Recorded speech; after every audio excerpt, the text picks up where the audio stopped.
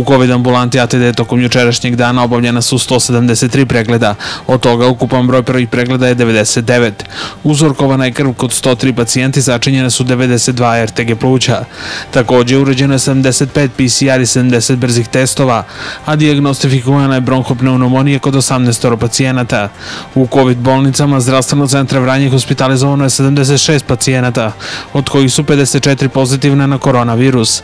Sa bronhopneumonijom su 74 pacijenta na kiselniku 37, primljeno je 16 pacijenata, a otpušteno 6, od kojih je jedan transportovan u klinički centar Niš. Trenutan broj slobodnih postelja je 74. Prema poslednjim podacima Gradskog štaba za vanredne situacije u Vranju od 249 uzoraka iz Pčinskog okruga, 104 su pozitivna na koronavirus. Od ovog broja 57 je iz Vranja, 10 iz Surdulice, 13 iz Bujanovca, 14 iz Preševa, 5 iz Trgovišta, 2 iz Vladičinog Hana i 3 iz Bosilegrada.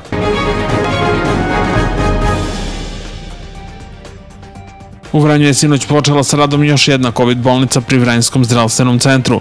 Reč je o zgradi stare hirurgije koja je ranije bila u COVID sistemu, potvrdila je za večernje novosti direktorka zdravstvenog centra Vranje, doktorka Ljiljana Antić. Prema njenim rečima u COVID bolnici na psihijatriji trenutno je 68 pacijenata, a bolnički kapacitet je 75 kreveta i prema njenim rečima medicinske ekipe su od 19 sati u zgradi stare hirurgije.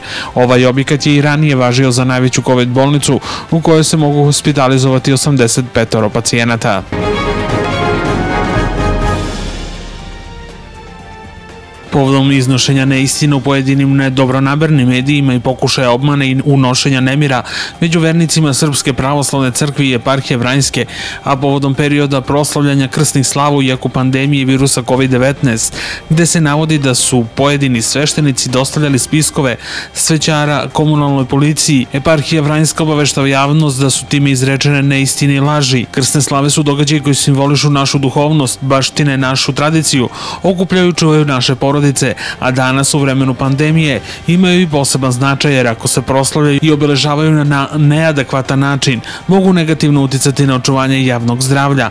Apelujemo na vernike da se u svakoj situaciji pridržavaju protiv epidemioloških mera, da svoje krstne slave proslavljaju duhu naše vere, u krugu svoje porodice na istinski crkveni način, molitveno pre i iznad svega, a nikako ne na način kojim bi moglo biti ugroženo zdravlje naših bližnjih, jer slava je bogoslužbeni čin i radosno molitveno okupljanje, a ne povod za neumerenost ili u sadašnjim uslovima za okupljanje mnogih ljudi u zatvorenoj prostoriji nevelikih razmera, navodi su u saopštenju eparhije Vranjske.